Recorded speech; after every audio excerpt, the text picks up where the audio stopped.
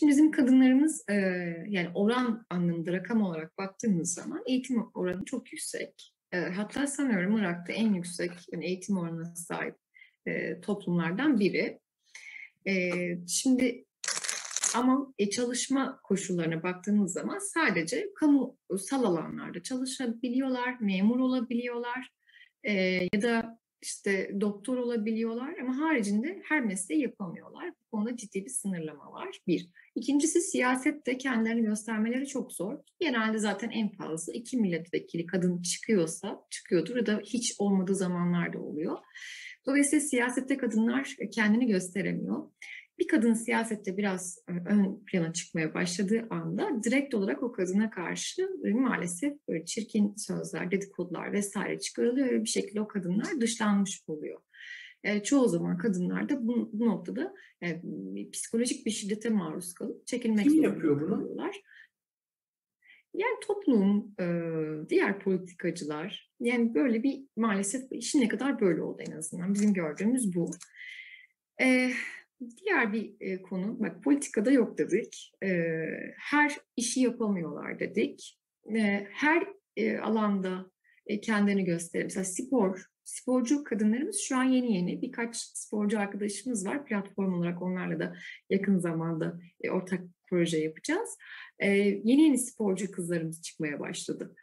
Az önce konuştuğumuz gibi sanatta, müzikte pek yoklar. E, çünkü toplum ayıp sayıyor o muhafazakar e, düşünce yapısından dolayı.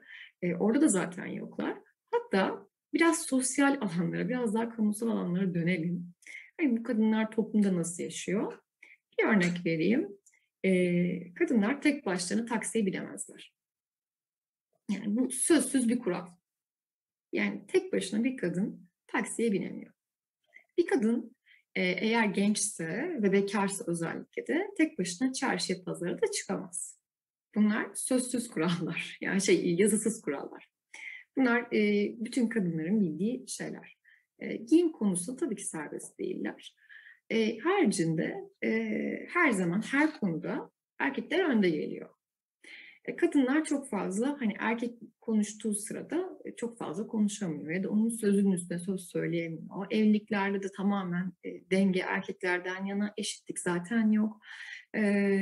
Evlilik süreci de zaten böyle görücü usulü evlilikler yapılıyor çoğunlukla. Yani çok fazla aslında kadınlara söz hakkı verilmiyor. Kendi hayatlarıyla ilgili konularda bile. Böyle yaşıyorlar. Hatta sosyal medya kullanırken bile kendi kimlikleriyle kullanamıyorlar. Ya isimlerini farklı yazıyorlar ya da işte yüzlerini gizliyorlar. İşte yüzlerine emoji falan koyuyorlar fotoğraf paylaşırken ya da hiç paylaşmıyorlar. yani sosyal medyada bile kendini gösteremiyorlar. çok ciddi hani bizim Türkiye'de bazen kadınlar olarak bir şikayet ettiğimiz şeyler vardır ya.